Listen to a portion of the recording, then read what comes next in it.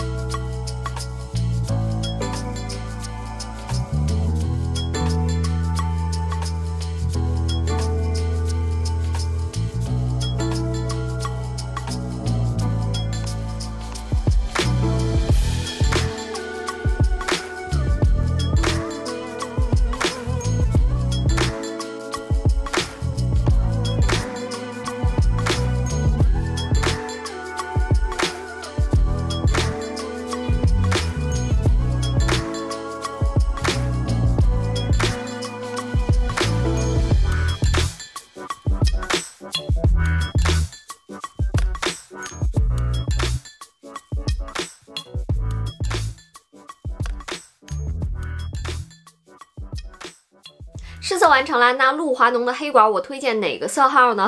其实我觉得还真的蛮难选的。其实露华浓的黑管和我之前给大家测评的倩丽白管以及 Kiko 家的口红都是那种你随便入不会出错、不会踩雷的颜色，就看大家的一个需要。那这六支里边，我个人来讲，就是我一擦上去，我会觉得哦，有惊艳到我的一个色号是哪个呢？零五幺。现在我嘴上这个颜色，这个颜色就像它那个色号名字一样，就是红色统治世界。我觉得这个颜色就是拿出去。我觉得它是不输任何大牌的一个大红色，涂上去超级有质感，然后是那种正宫娘娘走红毯必备的那种红。当然了，其他颜色也非常好看。我会把今天测评的六支色号做一个颜色的分析，整理出一个图文笔记，放在微博、小红书上。然后上面的图片呢，都是 iPhone 手机原图直出的试色图，你们可以做一个参考。那它的质地来讲呢，是那种比较。滋润挂的，然后涂在嘴上非常的滑顺，然后涂完之后呢，嘴唇是有那种润润嘟嘟的感觉。然后它的这个外包装确实是，我觉得同比我之前给大家测评的 Kiko 来讲啊，它就是那种开架的包装。然后这个盖子呢也是这种透明的盖子。可是我因为我觉得它的质地做的比较滋润，然后色号调的也挺好看的，所以我觉得露华浓的黑管嘛，仍然是性价比非常高的口红。以上就是本周日的 Echo 种草拔草。如果喜欢这期视频的话，不要忘记点赞再走哦。那喜欢我的话，也欢迎欢迎。加入我的频道，我是 Echo，那咱们就下期视频再见吧，拜拜。